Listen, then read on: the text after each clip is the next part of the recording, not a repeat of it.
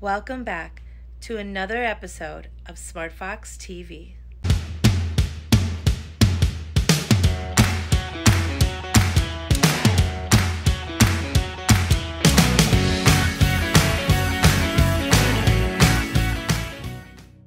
Hey everyone, this is Kim, and thanks for joining me for my segment on upcoming national days. First, we have September 18th, National Cheeseburger Day.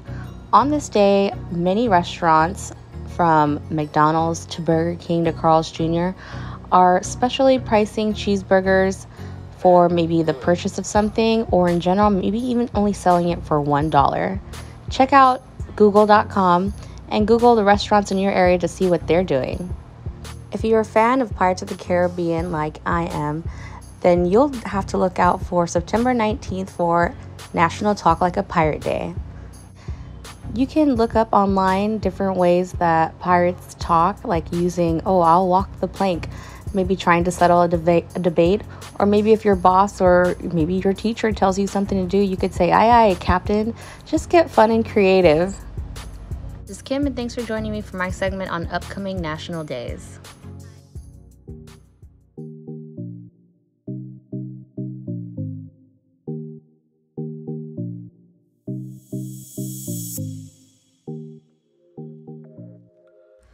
Hey everyone, this is Kim, and thanks for joining me for the current news. In Long Island, New York, rescuers move 5,000 pounds of concrete to save that little kitten. As you can see here in this video, the kitten was inside of a storm drain.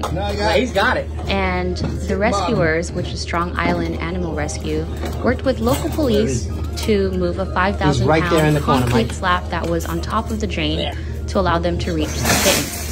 They used some large jacks and a hydraulic rescue tool called the Jaws of Life. And as you can see, they were trying to bring the cat into um, the basket at the end of it, and they were able to. And they were able to bring the kitten you got him, out Mike. to safety. The rescuers Yep, I got him. the kitten Lawrence. We got him, guys. They have said that We got he's him. been taken to Jefferson Animal Awesome, guys. Hospital, and that he's they're gonna have him ready for adoption in no time. In a cave in Israel, near the shore of the Dead Sea, a team of archaeologists find a case of Roman weapons. The archaeologists believe that they were taking off of Roman soldiers um, by Judean rebels that were resisting the Roman imperial incursions. And the fun thing about this is that they didn't only find one, they found four swords. This is Kim, and thanks for joining me for the current news.